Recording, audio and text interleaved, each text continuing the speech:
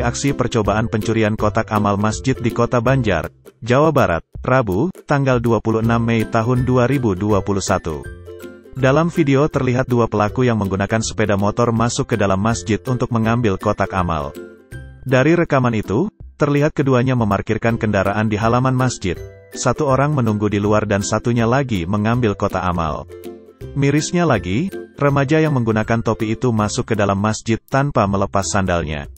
Sementara pelaku yang di luar juga sempat masuk tanpa melepas alas kakinya itu. Saat mengambil kotak amal, pelaku tampak kewalahan lantaran kotak amalnya begitu berat. Karena kerap terjadi pencurian kotak amal, pengurus pun akhirnya membuat inisiatif memasang gembok sebanyak tiga buah pada kotaknya.